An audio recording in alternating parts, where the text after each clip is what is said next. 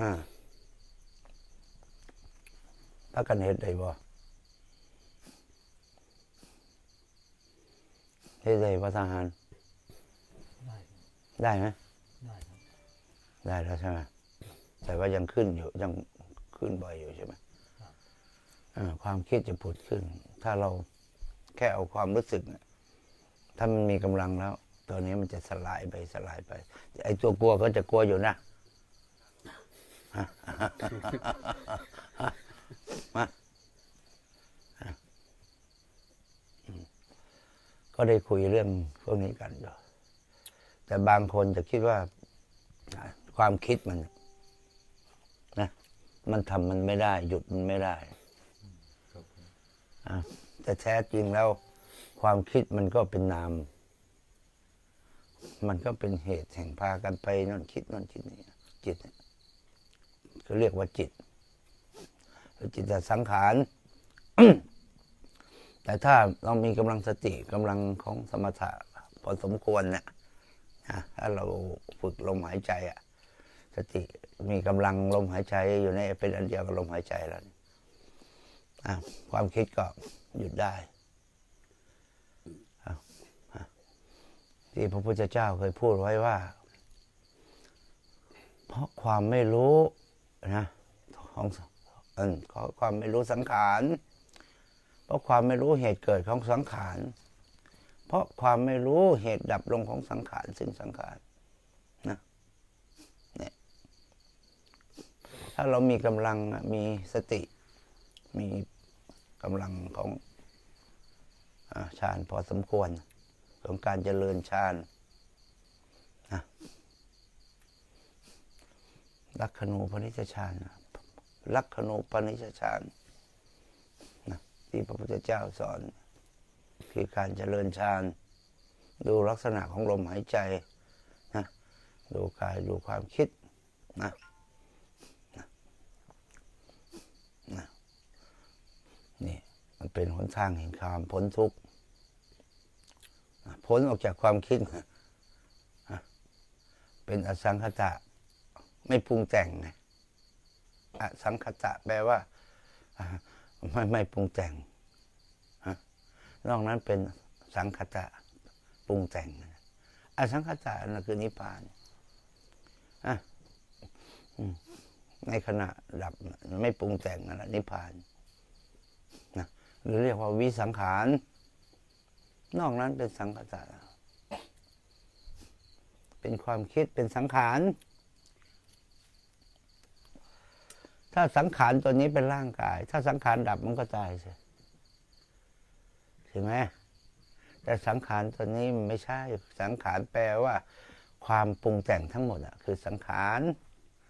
อนิจจาวัฏสังขาราเนี่ยเห็นไหมอนิจจาสังขารทั้งหลายไม่เที่ยง ความคิดนั่นแหละความปรุงแต่งทั้งหลายไม่เที่ยงนะหรือเรียกเรียกชื่ออีกชื่อหนึ่งว่ามโน อะมโนอะใจมันคิดไปเรื่องสารพัดอะเนี่ยถ้าใครฝึกตัวนี้ได้นะเจะเริญตัวนี้ได้ พ้นออกจากความเป็นความมีนะความเป็นความมี รู้จักว่าความเป็นความมีไหมความเป็นความมี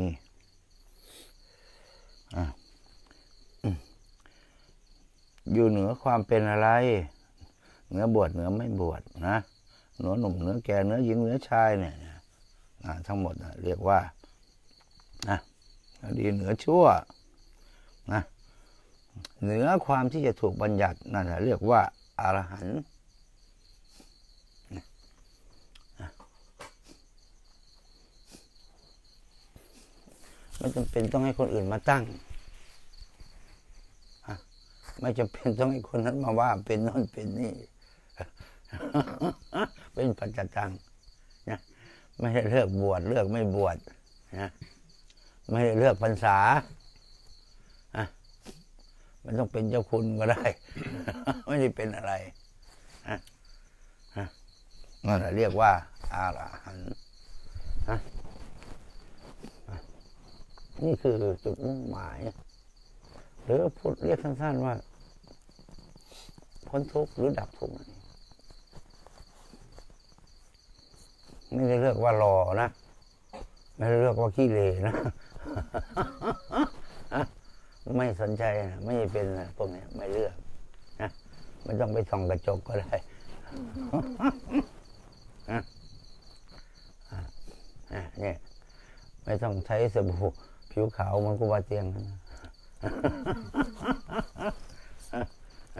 อะกูบาเตียงเลิกใช้แล้วมั้งตอนนี้สั่งมาจากญี่ปุ่นเลย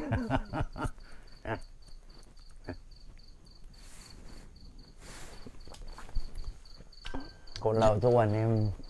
อยากให้ลุงตาอธิบายคำว่าธาตุรู้ครับธาตุธาตุหรือว่าธาตุธาตุรู้เนี่ย บางทีก็เป็นสมมุติบัญญัติเหมือนกันนะครับ ธารู้ธารู้หรือวิญญาณอะไรก็ได้แล้วหรือจะพูดหรือผู้รู้นะแต่ในความหมายของหลวงตาก็คือสติ ความรู้สึกตัวแค่นี้นะนี่ก็คือธารู้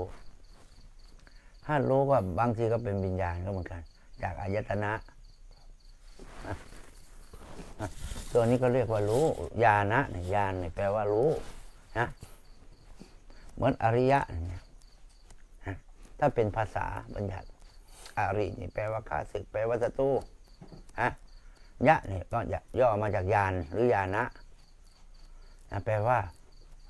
ผู้รู้ข้าศึกผู้รู้ศัตรูเนี่ยคืออริยะนะพระอริยะที่เขาเรียกนะรู้เหตุแห่งทุกข์อะ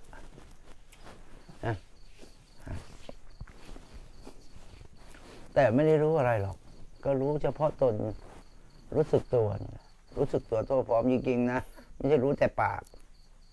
รู้แบบความคิดนะนะกันมากมันเอาความคิดเนี่ยเป็นนำหน้าเป็นตัวผู้เข้าถึงความสงบจริงๆ เป็นอสังขตะจริงๆนะนะนะไม่จำเป็นต้องนั่งสมาธิ ไม่จำเป็นต้องทำความเพียรอะไรเลย ความเพียรที่แท้จริงคือการมีสติที่มีความรู้สึกตัว เราจะเข้าไปถึงความเพียรที่แท้จริง เพียรแบบอริยะนะไม่ได้เพียรแบบปุถุชนหรือโลกิยะนะถ้าโลกิยะก็ยังทำอยู่อะต้องอาศัยกายอยู่ ต้องอาศัยการเดินจงกรมตามอะไรฮะอาศัยรูปแบบอยู่ แต่ว่าถ้าเข้าไปถึงตัวนี้ไม่มีรูปแบบ ฮะ ไม่มีเลย ทุกอย่างเป็นความเพียรทุกกิยาบทแค่เปลี่ยนกิยาบท นั่งขี้ก็เป็นฮะไม่ได้เข้าได้ออกสมาธินี่เป็นออนันตริยสมาธิคือสมบูรณ์มาก คือเป็นสติที่เชื่อมต่อนะไม่ได้ทำจะเข้าใจผิดว่าโอ้ยครูบาอาจารย์บางองค์ไม่เห็นทำความเพียรเลย ไม่เห็นโดนจงกรมเลยอย่างเงี้ย นะนั่นคือความโง่ของของคนแหละฮะที่จริงความเพียรของท่านไม่ต้องห่วงฮะเป็นอยู่ตลอดเวลาฮะจริงไหมอะทุยครับสบตาก็ได้นะ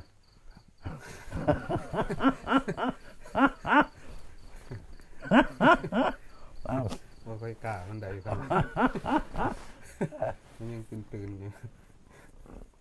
แต่สิถามก็ยังกันใจถามเออนี่ยเดี๋ยวเดี๋ยวก็กล้าอะเดี๋ยวก็กล้านะนะเมื่อก่อนหลวงตาก็เป็นกลัว ไม่อยากเข้าใกล้ครูอาจารย์หรอก ไม่อยากเข้าใกล้คนด้วยนะเพราะตอนนั้นมันรับรู้อารมณ์คน รับรู้ความคิดคนวุ่นวายใจหายเข้าใกล้คนไม่ได้ ทั้งร้อนทั้งเสียด ทั้งแทงทั้งสารพัดอารมณ์คนนี่ร้อนมากนะรู้จักความคิดคนรู้จักอารมณ์คน โอ้โหต้องหนีไปอยู่คนเดียวหลายปีนะขนาดไปอยู่คนเดียวยังกลัวอยู่เลยนะอืมเอาออกก็ได้ มันไม่สวยอะจัดเออเอาเอาสร้างภาพหน่อยก็ได้นะอืม แล้วตัวธาตุรู้อีกตัวหนึ่งที่เป็นทอทหารสระอาสอเสือนี่มันหมายก็มว่ายังไงอันนั้นครับหลวงธาตุตาแบบทาสีแบบธาตุค่าธาตุไม่ใช่ธาตุนะอะธาตุแบบนั้นธาตุรับใช้อย่างหลวงพ่อพุทธทาสอย่างนั้นอะธาตุพระพุทธเจ้าธาตุแห่งธรรมธาตุตัวนั้นน่ะถ้าธาตุเนี่ยหมายถึงธาตุหมายถึงวัตถุนะถ้าจะเอาว่าธาตุรู้เขียนว่าธาตุรู้ตัวเนี้ยธาตุมันเป็นวัตถุ ถ้าพูดถึงนะแต่จิตนี่มันเป็นนามไม่ใช่วัตถุ มันไม่ใช่สัตว์ไม่ใช่บุคคลเนี่ยฮะฮะฮะฮะมันเป็นแค่ความคิดอะฮะจิตมันมีหน้าที่คิดที่เรียกว่าจิตเนี่ย ที่จริงมันก็แค่อาการของขันธ์แต่ที่มันมีเข้าไปอยู่ อ่า เป็นเราเป็นเขาเป็นนู่นเป็นนี่อยู่เพราะว่ามีอุปทานอะ ถ้าไม่มีอุปทานมันก็เป็นแค่สังขารเป็นแค่ขันธ์หน้า เหมือนหลวงตาพูดถึงเรื่องสิ่งที่ผ่านมาสองปีสามปีหรือเมื่อวานเนี่ย ปกติคนเราก็จะเอาเมื่อวานเนี่ย เอาเรื่องอดีตเนี่ย มาปรุง หรือเรียกว่าสัญญาเห็นไหมก็จะทุกข์ก็จะไปยึดเอาตัวนั้น กูเคยเกลียดไอ้นี่เคยทำร้ายกูอย่างนี้ทั้งที่มันผ่านไปแล้วเห็นไหมมันไม่มีอะไรนะเห็นไหมเมื่อวานเนี่ยไม่มีนะ เห็นไหมแต่พวกเรากลับมีเมื่อวานเนี่ยมีอดีตอยู่ เห็นไหมแต่พระริเจ้านี่เขาไม่มีเมื่อวานถ้าจะลึกแล้วลึกถึงเมื่อวานนี้เหมือนไกลมากนะ เหมือนผ่านมาเป็นร้อยร้อยปีเลยนะ จริงๆ สังเกตดูดีๆ เรื่องที่ผ่านมาเนี่ย มันโอ้โหยาวนานมากนะเหมือนเวลาเรานอนอย่างนี้หลวงตา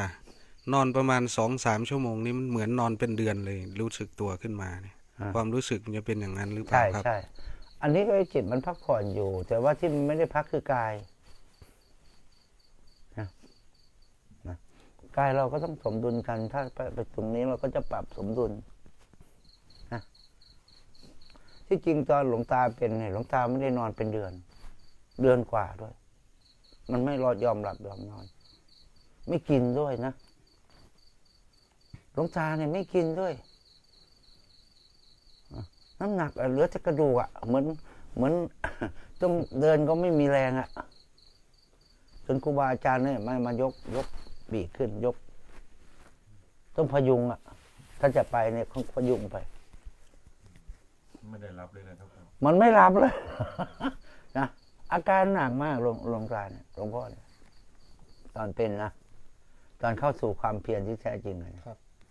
เข้าใหม่ๆเนี่ยไม่หลับเลย เป็นเดือนๆเลยมันเป็นที่ตัวสัญญาหรือเปล่าครับหลวงตา มันเป็นสภาวะ มันจะเห็นทุกข์มาก ถ้าจะพูดถึง เห็นทุกสิ่งทุกอย่างเลย เห็นแม้กระทั่งสิ่งมนุษย์ไม่เห็นนะฮะ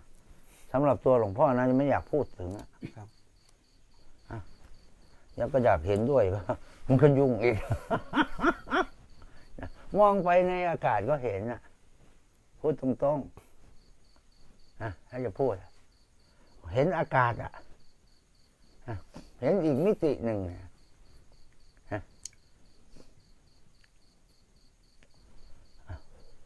เดินเข้าไปในห้องพักในกุฏิเนี่ยโอ้โหเต็ม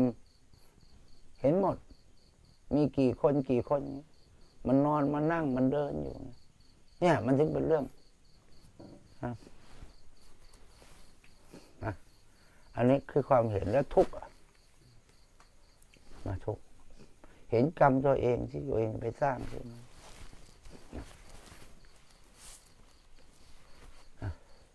เห็นอดีตอะ พูดถึง ย้อนไปได้เยอะมากนะเห็นคนอื่นด้วยนะมองปุ๊บนี่เห็นเลยว่า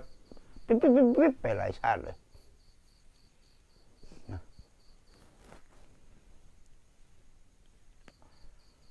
นี่เนี่ยคือการเห็นของจิตตัวรับรู้ของมันไวมาก แต่กายมันไม่ได้พักอะสิกินก็ไม่กิน พูดก็ไม่พูดด้วยนะ แม้แต่พูดก็ไม่พูดมันกลัว พูดออกไปกลัวเป็นกรรมทางวาจา ละเอียดตัวเนี้ยคิดก็ไม่ได้ คิดก็ไม่ได้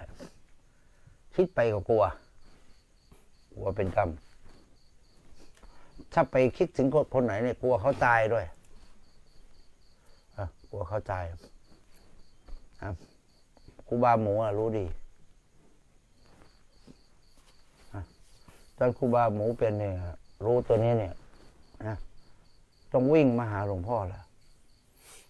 กลางคืนก็มาเมื่อก่อนมาบ่อย บางทีมาสามหนสี่หนมามากลัวกลัวตอนเนี้ยแล้วถามว่าอ่าเขาจะเป็นไรไหมเขาจะเห็นเราไหมอย่างเงี้ย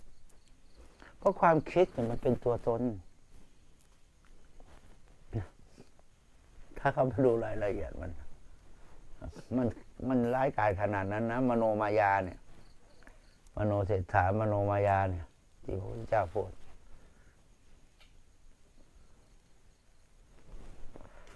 ต้องอาศัยกำลังของสติปัญญาที่จะน้อมเข้ามาตัดกระแสพวกนี้ ดับมโนภาพพวกนี้ได้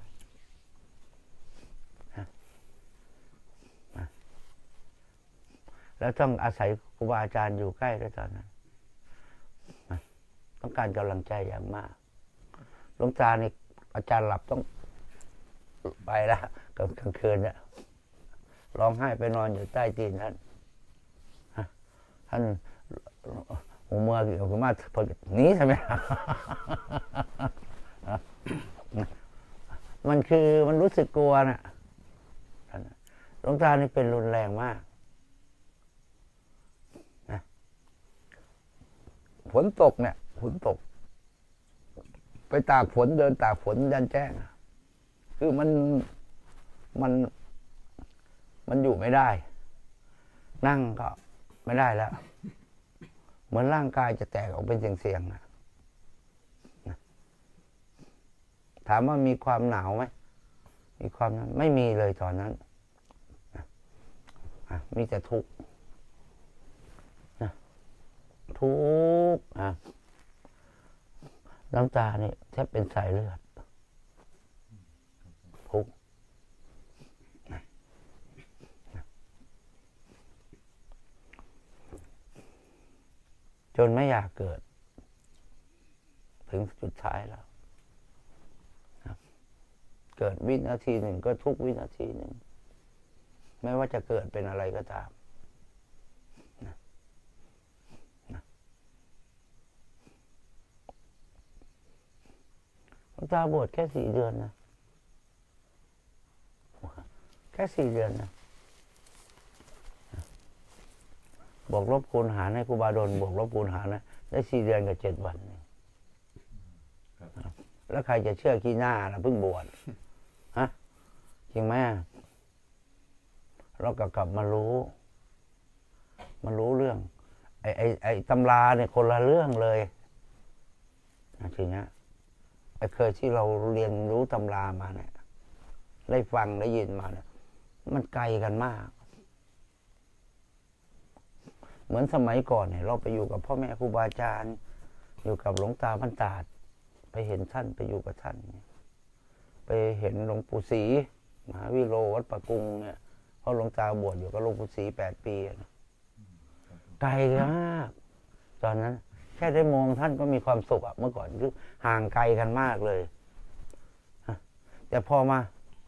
มามามามาถึงขนาดนั้นอะเหมือน เหมือนเราอยู่ใกล้ท่านอะ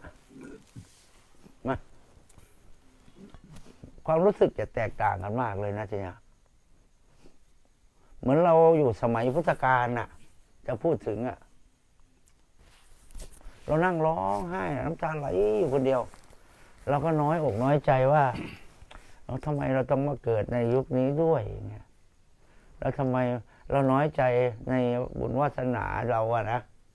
น้อยใจในบุญวาสนาเราคือ เราระลึกถึงไปถึงพระพุทธเจ้าอาพระอรหันต์สาวกทั้งท่านนะว่าสมัยนั้น ท่านยังดีกว่าสมัยเราเลยเนาะอย่างเงี้ย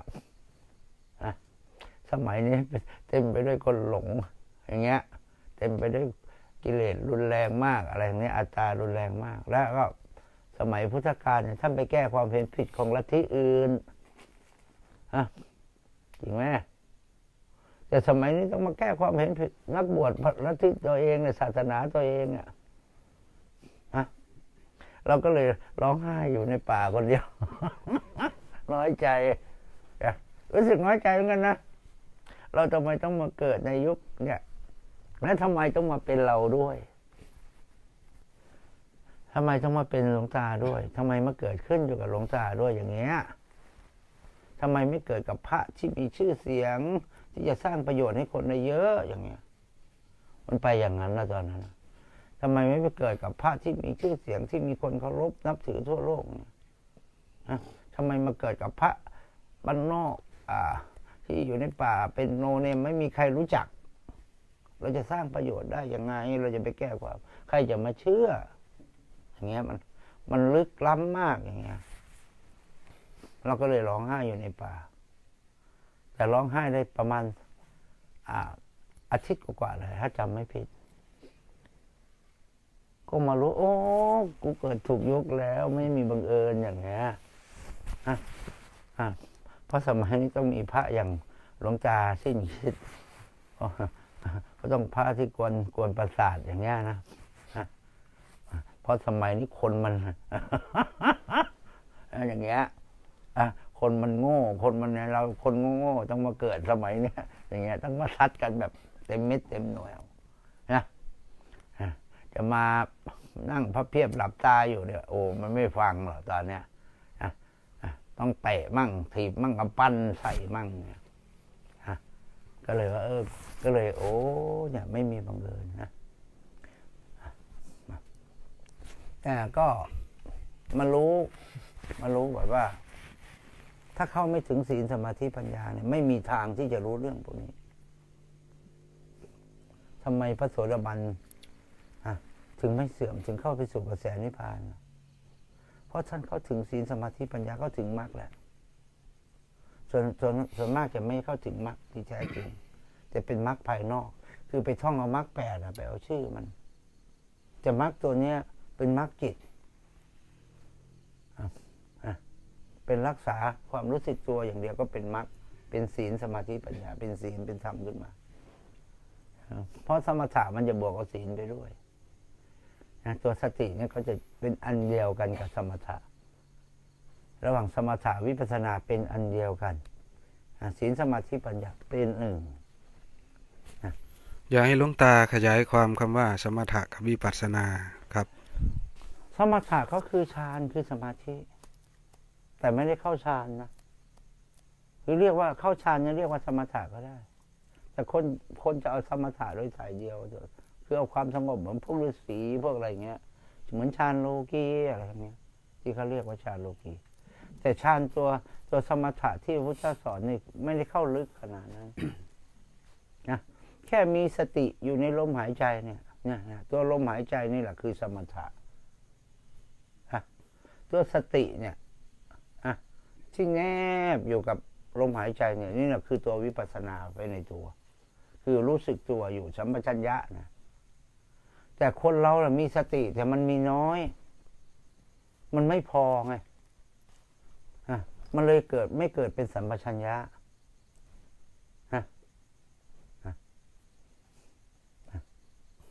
ส่วนมากมันจะไหลไปกับความคิดปรุงแต่งหมดแต่นี้เราตกเป็นทาสของความคิดนะ เราจึงทุกข์ไง เพราะปรุงแต่งไปอนาคตไปอดีตนะ เห็นไหมความคิดเนี่ยโอ้โห มันร้ายกาจมันไม่หยุดไม่นิ่งนะ นอนมันก็คิด ตื่นมานะตั้งแต่ตื่นมาก็คิด แล้วมันก็จะคิดไปอีกหลายภพหลายชาติมากไอ้ความคิดเนี่ยหรือว่าเรียกว่าสังขารเนี่ยนะเพราะเราไม่รู้โทษทันมันตัวสติ ไม่มีกำลังนะเราต้องฝึกสติเจริญสตินะโดยอาศัยสมถะคือลมหายใจเนี่ยเป็นฐานนะนั่นแหละเรียกว่าสมถะนะหรือเรียกว่าเจริญฌาน ถ้าสติอยู่ในลมหายใจเนี่ย จนมีกำลังขึ้นนะนั่นเรียกว่าการเจริญฌานแล้วปัญญาจริงๆนี่คือการสังเกตอาการของจิตใช่ไหมครับหลวงใช่ตาอาการของสภาวะที่เกิดไม่ใช่เราไปพิจารณาไม่ทใช่ไม่ใช่ ตัวพิจารณาคือคือตัวคิดนะอ่าแต่ขั้นต้นต้องอาศัยตัวนี้ก่อนำครับ อาศัยโยนิโสก่อนฮะฮะฮะ แต่ว่าพอเข้าไปถึงตัวนี้จะไม่ไม่ไม่ไม่ไม่ไม่ได้ใช้ความความตัวนี้ จะอาศัยแต่สติปัญญาล้วนๆใช่ไหมฮะสติปัญญาก็คือตัวสังเกตตัวรู้นะตัวตรวจสอบเนี่ยแหละเห็นไหมมันตรวจสอบอยู่ภายใน เห็นไหมธรรมชัญญาเนี่ยจะกลายเป็นแสงสว่างแห่งแห่งความรู้แจ้งนะในความเกิด นะในในลักษณะที่มันเกิดขึ้นนะแต่ส่วนมากก็จะไปเอารูปแบบไปนั่งสมาธิเป็นแถวอย่างเงี้ยนะแต่ถ้าถึงถึงถึงความเพียรตัวนี้แล้วไม่ต้องไม่มีไม่มี ไม่มีอะไรหรอกไม่มีสมมุติบัญญัติ ไม่มีรูปแบบนะคือความเพียรก็คือตัวสตินี่เอง มีสติเมื่อไหร่ก็มีความเพียร ขาดสติก็ขาดความเพียร นี่คือความเพียรแบบอ่าอริยะจริงแล้วคำว่าอสัตโทนี่มันเป็นยังไงครับหลวงๆเข้าตาไปถึงตัวนี้เหมือนกับคำว่าอัศโทคือไม่ศรัทธา ไม่ศรัทธานั่นเองอ้าวถ้าเธอเข้าไปถึงความเป็นอริยะเป็นพระอรหันตะ เท่ากันเนี่ยจะศรัทธาใครได้ ถามหน่อยพราะเข้าไปถึงสุญญตานัตตาศรัทธาใครได้ แต่ไม่ใช่ว่าไม่เคารพนะฮะในเมื่อไม่มีมันเป็นอนัตตาเป็นสุญญตาแล้วเนี่ย มันจะมีอะไรศีลจะมีไหมมันก็ไม่มี มันไม่มีตัวตนมันจะมีอะไรล่ะ การไม่มีตัวตนนี่แหละคือเรียกว่าบริสุทธิ์ ถ้ายังมีอยู่จุดนิดหนึ่งมันก็ยังไม่บริสุทธิ์ นี่คือความหมาย แบบคำว่าบริสุทธิ์ ถามหน่อยถ้าถ้าเขาถึงความไม่มีตัวตนแล้วเนี่ย จะศรัทธาใครเอามันศรัทธาไม่ได้ฮะมันมันมันมันรักใครไม่เป็น มันชังใครไม่เป็นอะมันไม่มีอะนั่นแหละคำว่าเขาถึงอสัตโธผู้เข้าถึงความเป็นอสัตตาคือทำลายความเชื่อทุกอย่างแล้วทำลายตัวตนแล้ว ทำลายทิฏฐิหมดทุกสิ่งทุกอย่างแล้วฮะนะเอาสมมติว่าเอาอย่างกุบาเนงเนี่ยนะอะเท่ากันกับหลวงพ่อเขาถึงมันเท่าเทียมกันเนี่ย ครับฮะเอาความรู้สึกจะเป็นไง มันจะไปศรัทธาได้ยังไงอะแต่ถ้าถามว่าเคารพไม่เคารพเคารพมากด้วยครับ ใช่ใช่คือเหมือนเขาเราเคารพพระพุทธเจ้าอย่างเงี้ยฮะ มันจะเคารพยิ่งกว่าพวกมารยาคติหลาย ๆ ที่คนทั่วไปแสดงออก บางทีไปกราบดีๆมานั่งให้คนกูกราบทำไมวะ อย่างเงี้ยยังมีเลยนะ จริงๆ นั่นคือพวกที่แสดงออกเป็นมายาอยู่แต่พวกนี้จะไม่มีมายา ไม่มีมารยาทคือกราบตัวเองได้อะ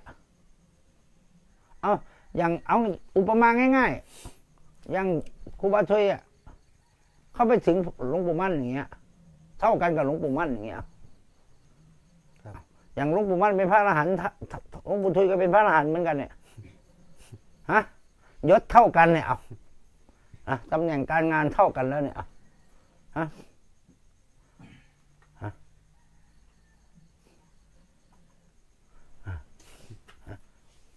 เข้าใจไหมล่ะทีนี้นั่นแหละความรู้สึกมันเป็นอย่างนั้นนะนั่นแหละคำว่าเขาถึงอัตตาอัตโตแต่ไม่ใช่ว่าไม่เคารพนะเคารพนะแต่ว่าภายในมันไม่มีอะ มันจะไปเคารพใครได้แม้แต่ศีลก็ไม่มีธรรมก็ไม่มีแล้วมันไม่มีตัวตนมันจะมีอะไรอะ ความสงสัยมันก็มีเหมันเดิมใช่ไหมครับ มีสิแต่มันไม่แต่เคยไปอะ มันไม่ไม่มีคนเข้าไปสงสัยใช่ไหมครับหลวงตา มีมีมีมีอ่าความสงสัยอย่างเราไม่เคยไปเนี่ยไม่ใช่พระอรหันต์นะไม่สงสัยนะเอ้าทำไมไม่สงสัยเราจะไปถามเขาทำไมอะฮะครับอะมันคนละเรื่องนะครับนะอะอย่างเราไม่เคยไปสถานที่ที่หนึ่งเราก็ต้องไปถามคนอะ ครับมันจะไปถูกไหมไม่ใช่ไม่สงสัยนะอะนะ มันสงสัยคนละสงสัย บางคนอาจจะเข้าใจว่าหายสงสัยแล้วนี่รู้รู้ไปหมดทุกอย่างอะไรโอ้ทำนองยอันนั้นั้นนพวกนะครับโง่แล้วนะจะไปรู้อะไรมากแหมอะอย่างเราไม่เคยไปบ้านนี้ไปเจอคนว่าอ่าทักโยม บ้านนี้อะไปทางไหน เนี่ยพระอรหันต์ก็ยังถามอยู่นะ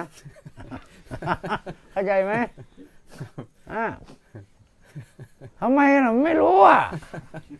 อ้าวอะอะบางทีเขาแกงอะไรไม่กินเฮ้ยอันนี้แกงอะไรวะเนี่ย อย่างเงี้ยฮะทำไมอะไม่สงสัยอะฮะมีคนดูไหมเนี่ย มีครับหกสิบบาทฮะหกสิบครับโอ้มีคนตื่นเช้าด้วยเนาะอืมเนี่ยไม่ใช่พระอรหันต์ อย่าไปรู้ไปหมดทุกอย่างถ้ารู้อย่างนั้นวุ่นวายใจหาเลยพูดจริงๆก็หมดรู้นั่นแหละ ที่หลวงตาพูดบ่อยๆเข้าไปถึงความแม้หมดแต่ผู้ผู้รู้ก็หมดตอนนี้ก็สักแต่ว่ารู้สักแต่ว่าเห็นมันเป็นคนละเรื่องอันนี้มันเป็นเรื่องของภายใน แต่ว่าภายนอก เราไม่รู้เนี่ยฮะกูไม่เคยทำงานอย่างเงี้ยเฮ้ยทำยังไงวะ ก็ต้องถามแหละนะเข้าใจไหมไม่ใช่มาพระอรหันต์ไม่เถียงกันนะพระอรหันต์นี่ก็เถียงกันเหมือนกันนะไม่เห็นด้วยกันก็มีนะไม่เชื่อก็เอาให้โลไปกลางในพระอรหันต์เล่นเถอะยักษ์กันเหมือนกันเลยกูว่าฮะไม่เห็นด้วยความเห็นไม่ตรงกันไม่ตรง ก็เหมือนกับพวกเข้าไปสังคายนาในถ้ำเห็นไหมสุวรรณคูหาห้าร้อยองค์เนี่ยพวกนั้นเป็นโจเจโตล้วนๆจริงไหมพอสังคายนาเสร็จออกมานอกถ้ำพวกที่อยู่นอกถ้ำก็ไม่เห็นด้วย ก็เถียงกันสิฮะมันถึงแยกออกมา เฉพาะไม่กี่วันออกมาเนี่ยแตกมาเป็นเจ็ดแสนนิกายอะ เพราะความไม่เห็นด้วย เห็นไหม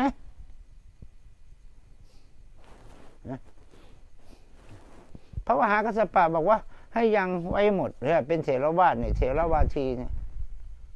ให้ยังวินัยที่พระพุทธเจ้าบัญญัติทุกไม่ต้องตัดออก พวกนอกถ้ำก็เสียงมาเอ้าเราก็อยู่ด้วยกันกับพระองค์เนี่ยเราได้ยินพระองค์ใครก็ได้ยินว่าเอาบัตรเล็กๆน้อยๆเนี่ยฮะถ้าการเวลาผ่านไปความเหมาะสมไม่ยกเลิกก็ได้ ก็เสียงกันสิ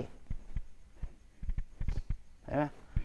ดีก็ไม่ต่อยกันพระอรหันต์นอก เกี่ยวกับภูมิจิตภูมิธรรมท่านนี้ครับ ไม่ไม่คนจะเข้าใจผิดครับว่าพระอรหันต์รู้ไปหมดนะไม่ใช่ นี่คือความเข้าใจท่านแค่เป็นผู้ดับทุกข์ได้พ้นออกจากทุกข์ได้ แต่การธาตุสังขารเนี่ยกายสังขารเนี่ยนั่นนะธาตุสี่เนี่ยหรือขันธ์ธาตุปกติ หิวเป็นร้อนเป็นโมโหเป็นเหมือนเดิมอะฮะร้อนเป็นนะเนี่ยหมากัดก็ได้ อย่าเข้าใจผิดนะ โมโหได้ไหมครับ ได้สิ ไม่ได้นะหลวงตามหาบัวปลากระโถนใส่หัวพระเลยหรือปลาไปเฉยๆไม่โมโหเออมันเป็นไปได้อะฮะโอ้โมโหทำไมจะไม่โมโหนะแต่ความโมโหของท่านก็เหมือน เหมือนเหมือนปกติของคนนะฮะแต่ท่านไม่มีตัวผู้ผู้ผู้รองรับ หรือหลวงตาอุปมาให้เห็นมาก ๆ เห็นง่าย ๆ ก็คืออะอจิตนี่เหมือน memory เห็นไหมอะ memory นี่แหละคืออุปาทานอะเข้าใจไหมอะแล้วแล้วแล้วท่านท่าน ท่านถอด memory ทิ้งละทุกทิม memory ทิ้ง เห็นไหมแต่ทำงานทุกทุกอย่างเหมือนเดิม แต่ไม่ได้บันทึกอีกแล้ว แต่พวกเราเนี่ยมีตัวบันทึกคือตัวจิตที่ที่เป็นสัญญาเอาอะไรมามาจำมานะมาปรุงมาแต่งอยู่แต่ท่านไม่ได้ปรุงแต่งอะท่านไม่มี memory ท่านก็เลยไม่มีกรรม ไม่มีทางมโนทางทางทางจิตอะท่านเป็นผู้ไม่มีหนี้แล้วเห็นไหมคือความความโกรธมีแต่ความผูกโกรธผูกพยาบาทไม่มี ไม่มีมันไม่บันทึกครับเออนั่นแหละความหมาย ฮะ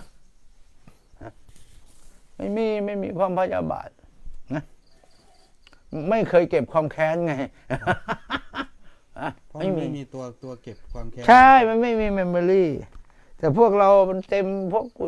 นั่นมันต่างกันที่ memory นี่แหละ สัญญาก็เหมือนเดิม มันจะจำคนได้เหรอ อันนั้นเขาเรียกสัญญาขันธ์ ทีนี้เหลือแต่ขันธ์ล้วนๆ ฮะ เห็นไหมไอ้ไอ้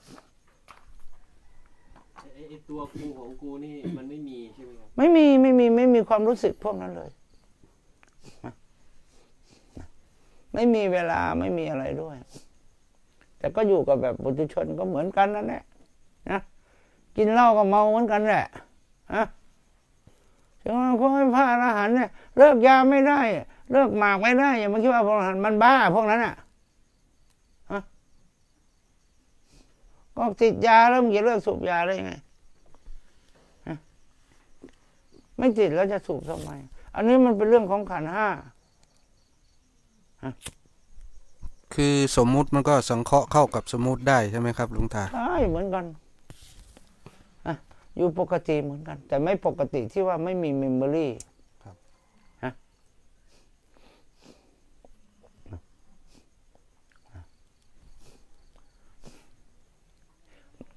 อืม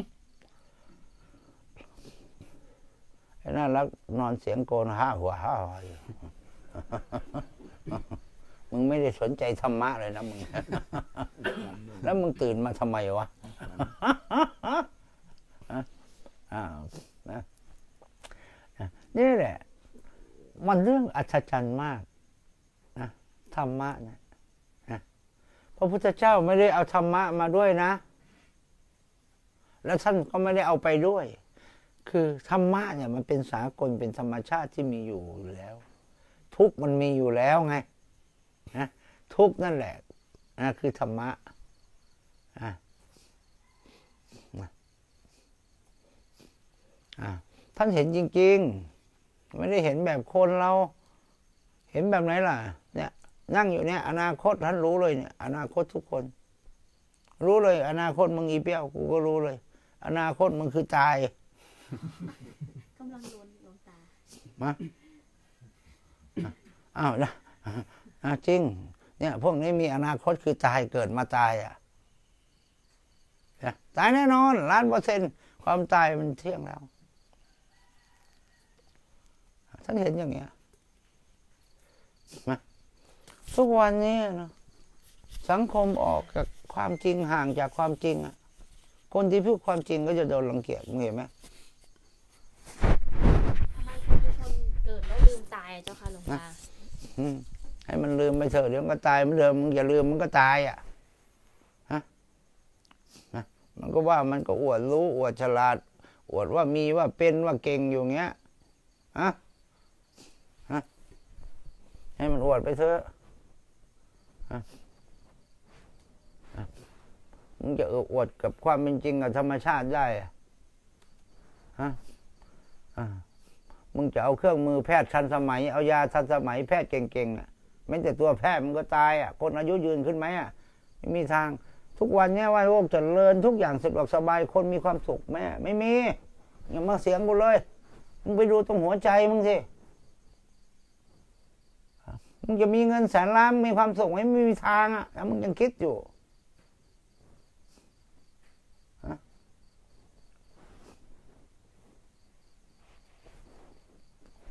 ไฟยังไหม้หัวมึงอยู่เนี่ย กูอยากให้มึงขับรถลัมโบกินี่ขับยานอวกาศมึงก็ทุกข์อยู่ เพราะตัวทุกข์อยู่ที่ใจ มันอยู่ที่ความร่ำรวยความเป็นความมีสะดวกสบายไม่ใช่ ทุกมันเกิดจากความคิดเกิดจากใจ ใจที่คิดไม่หยุด สร้างแต่ทุกข์ให้ตัวเองนะ หมือนหมาขี้เลื้อนอะ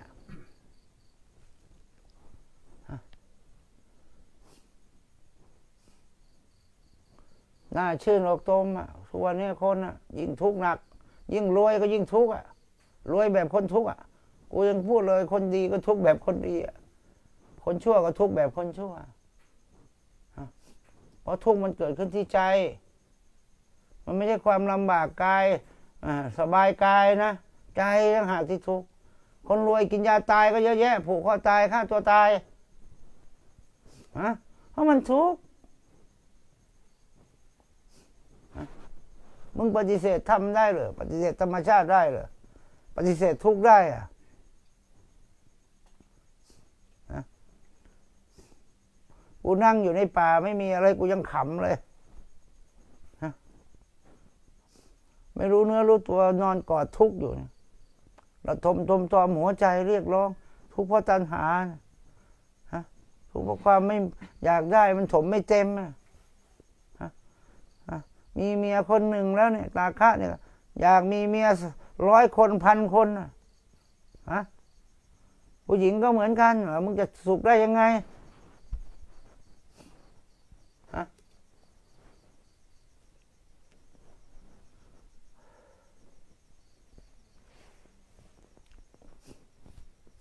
ความสุขของสัตว์โลกอะแค่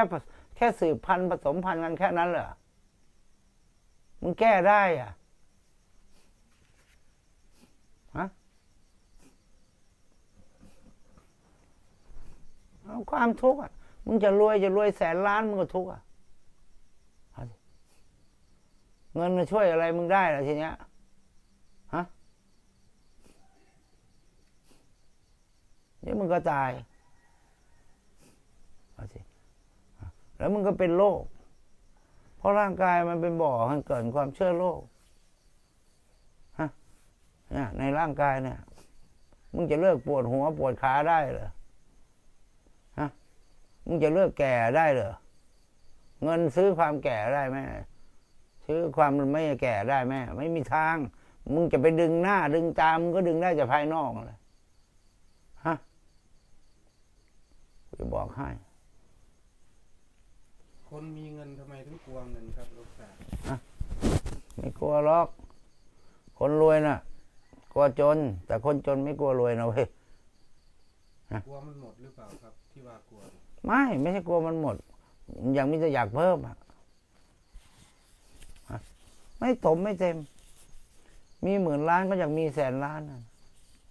มีแสนล้านก็อยากมีล้านล้านล้านขึ้นไปอะ นี่เขาเรียกว่ามันถมไม่เต็มมันลึกกว่ามหาสมุทรอีกตัณหาเนี่ย แล้วมึงจะมีความสุขได้ไงอะไม่มีทาง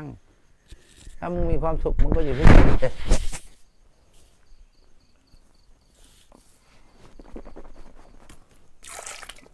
พระโสดาบันน่ะ ยังรวยกว่ามหาจักรพรรดิด้วย เห็นไหมอะรวยอะไรรวยความสุขเนี่ยรวยความสงบอะอะอะอะ เมื่อวานนี้ตอนบ่ายๆตอนจะค่าค่ำแล้วสี่โมงกว่าจะห้าโมงหลวงตาก็ปกติก็แจกผ้าห่มแจกผ้าห่มหน้าหนาวให้ไออุ่นคนนะพวกไหนมีตังมี power ต้องอาศัยปัจจัยสี่อยู่ในร่างกายในธาตุในขันอยู่นะก็เลยบอกบุญไปนะใครจะร่วม ซื้อผ้าห่มอออกเงินมาซื้อผ้าห่มนะหลวงตาตั้งงบประมาณไว้แสนสองนะก็มีเพื่อนนะที่ไม่ประสงค์ออกนามเพื่อนคนนี้นะก็ให้มาหกหมื่นนะลูกคมก็ให้มาสามหมื่นนะแล้วก็เพื่อนไม่ประสงค์ออกนามอีกสองหมื่นนะเฮ้ย นี่มันแสนเอ็ดแล้วนะสามคนนะอ่านั่นก็เหลือนั่นแต่เหลืออยู่หมื่นนะเอาใครอยากสนใจก็ร่วมอ่ารถไฟขบวนเนี้ยนะเขาไฟขบวนโซมอบไออุ่น ให้เพื่อนเกิดแก่เจ็บตายด้วยกันนะได้นะถือว่าเป็นค่ากันเทศก็ได้นะตอนเช้า ยังยังรับอยู่ รับไม่อั้นไว้สองพันผืนนะนะนะก็อะพอละมั้งสี่สิบกว่านาทีแล้ว มีมีมีคำถามทั้งบ้านอยู่นะครับเอ้าหลวงตาก็ทำไมไม่ถามมาล่ะแหมมึงก็ ช่วงช่วงนี้ทอดกระถิน อยากทราบอานิสงส์กระถินค่ะหลวงพ่อ อันนี้สงส์แปลว่าใช้งานนั่นนะนะกระถินเนี่ยใช้งานก็คือผ้าแต่ มันจะใช้ถึงสามปีไหมล่ะจะพูดถึงอันนี้สงส์กระถินเนี่ยฮะผ้าเนี่ยสามปีสี่ปีเนี่ย มันก็บางก็ขาดแล้วเนาะครับผมทำศาลาทำกุฏิเนี่ยอยู่ได้สามสิบสี่สิบปีหรือร้อยปี อันไหนเราจะอันนี้สงส์ได้นานกว่ากันนะได้ใช้งานมากกว่ากันฮะอะหรือว่าทำกระถินได้บุญเยอะอย่างนั้นอย่างเงี้ยบุญคือตรงไหนคือเป็นอานิสงส์แปลว่าใช้งานน่ะฮะฮะ มันเป็นการโฆษณาแบบชวนเชื่อเฉยๆอะนะถ้าจะทำอะไรที่เกิดประโยชน์นั่นอันนี้สงส์แปลว่าประโยชน์ใช้งานได้เยอะฮะ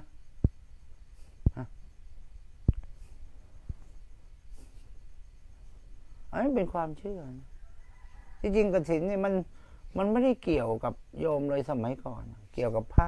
พระอยู่ด้วยกันสี่ห้ารูป พอออกภาษามาเพราะว่าผ้ามันหายากท่านก็ออกไปสี่ทิศไปเก็บผ้าตามคนตายอะป่าช้าเมื่อก่อนป่าช้านี่เป็นสวนดอกไม้ของพระสมัยก่อนนะไปดูผ้าห่อศพไปหาอะไรมาเนี่ยเขาเรียกว่าผ้าบางสกุลจริง ๆ ไปได้มาถ้าได้มามาก รวมกลับมาวัดเนี่ยได้มามาก ก็ต้มย้อมนะเป็นผ้าจีวร ได้มาน้อยก็เป็นผ้าสบงเนี่ยก็มาลงมติกันคืออเขาเรียกการกระถินอะอะสี่องค์ก็ขึ้นไปว่าจะลงมติกันนะองค์แรกก็จะว่าอะไรนะอิดานิโคพันเต อิมังสะปาริวารังกัตรีนารุตสังสร้างคัสสะนี่สงจะว่ายังไง จะมอบให้คนเนี้ยอ่าสงก็ว่าอากังข้ามาพันเตคือยังกังขาอยู่ ก็ให้เหตุผลมาสี่องค์เนี่ยฮะพอให้เหตุผลว่าให้คนนี้แล้วอะก็สาธุการย่อยคือยติเห็นไหมสาธุการสาธุพันเตนี่นี่มอบให้องค์เนี่ยเนี่ยมันไม่เกี่ยวกับยอดกระถินเลยนะไม่ตอนนี้มันมีบริวารกระถินเยอะเลือเกินนะ มีบูชาธรรมคุณทิติรัตน์หนึ่งพันครับ สาธุคุณนัท GM มันเดย์หนึ่งพันครับ สาธุนะคุณปราณีบุญทุมหนึ่งพันครับ สาธุคุณพม่านสายลักหนึ่งร้อยบาทครับ อ๋อเฮ้ยต้อม อยู่ใกล้ๆหนึ่งร้อยมาดีนะสิบบาท ไม่ต้องเพราะเพราะว่าเนี่ยคำทุกวันนี้มันมันแปรเปลี่ยนเดี๋ยวนี้วัดก็มีตู้บริจาค ใช้หนี้สงฆ์นะเฮ้ยมันเป็นหนี้สงฆ์แต่เมื่อไหร่กูยังถามเลยนะที่จริงอะสงฆ์เนี่ย อาศัยชาวบ้านเขาสงฆ์น่ะเป็นหนี้นะเข้าใจไหมถ้าจะพูดถึงหลักการ แต่ว่าทุกวันนี้มันเอาสมมติบัญญัติตัวนี้เป็นโวหารเป็นอะไรมาเพื่อ อ่า เอามาหากินนะอืมแล้วสงฆ์ต้องใช้หนี่ชาวบ้านยังไงครับหลวงตา ก็นี่ไงปฏิบัติธรรมไง ได้ธรรมะแล้วก็มาบอกเขาไงฮะนี่คือการตอบแทนเขาฮะจริงไหมล่ะนะอันนี้สอนกันมีแต่โอ้ทำบุญอย่างนั้น อย่างนี้บุญอย่างนั้น อย่างนี้มีแต่บาปกับบุญ ขายกันอยู่เรื่อยเลยสวรรค์เนี่ยฮะ ตอนนี้จะเอาเฟสไหนอะฮะฮะฮะฮะฮะฮะจริงคุณที่ยังไปบ่พ้นเลยเด้อครับมันไปม่พ้นมันมันยังไงมันก็ไม่พ้นอยู่ดีอะไปบ่พ้นได้แค่นี้ได้เลยโอ้ยเนี่ย มันก็ไม่พ้นมันก็ต้องอยู่นะนะคำว่าไม่พ้นก็ยังอยู่นะนะมันก็ปิดนรกไม่ได้ยังไงมันก็ตกนรก ไม่ใช่มึงทานเข้าวัดบ่อยๆนะมึงจะได้ขึ้นสวรรค์มันไม่ใช่ มันอยู่ที่จิตดวงเดียวที่มีเจตนาที่เป็นกุศล เจตนานั่นแหละ คือที่ไปเป็นคติฮะมาวัดเนี่ยโอ้ยถือประแดกมาวัดเนี่ยมันย่ามเมื่อไรหอนลาบง่ว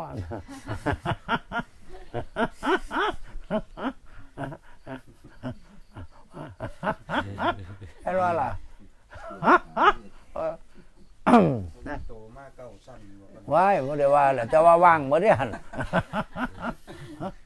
นี่เอายอดกระถินมาสองสามยอดแล้วเด้อครับเจ้ามันเมื่อนี่เต็มหมดเก้าสั้นมันก็ธรรมดานะครับ คุณสมโพธร่วมไออุ่นห้าร้อยด้วยครับสาธุอะก็วันนี้เขาจะอ่าไปติดต่อทางโรงงานที่สมุทรปราการพระห่มมาแล้วอืมก็จะได้โอนปัจจัยให้เขาฮะอ่ามอบเงินให้เขาซื้อพระห่มนะ ถ้าได้มากกว่านั้นก็ดีนะนะเพราะว่าจะได้ซื้อมาเพิ่มมาที่มันไม่พอ ที่กำหนดไว้สองพันผืนเนี่ยอาจจะเป็นสองพันห้าร้อยผืนก็ได้ถ้าได้ไม่มากนะอะอืมคุณคุณคุณหนูชนา ถ้าออกชื่อขออภัยนะครับ ร่วมบุญอีกหนึ่งพันครับสาธุอ๋อคุณคุณนัทนัชนาครับ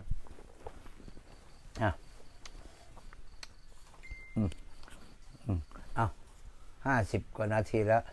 วันนี้ก็ขออนุโมทนาสาธุการนะกับผู้ที่ร่วมทำบุญซื้อผ้าห่มนะก็ขอให้มีสุขภาพจิตสุขภาพกายแข็งแรงเจริญในธรรมนะมีสติเจริญยิ่งยิ่งขึ้นไปนี่คือพรนะให้พรตัวเองให้เป็นก็คือมีสติสัมปชัญญะนะรู้สึกตัว อย่าลืมตัว อย่าหลงตัวนะนะสตินั่นแหละคือเครื่องคุ้มครองของเราที่ดีที่สุดนะไม่มีอะไรคุ้มครองเราได้เท่าสติหรอกนะก็ขอสาธุอะครับมีมีคุณฉลองมหาชัยเออพระพระฉลองมหาชัยห้าร้อยนะครับ เติมมาเรื่อยๆช่วงนี้ มาเลยมาเลยมาเลย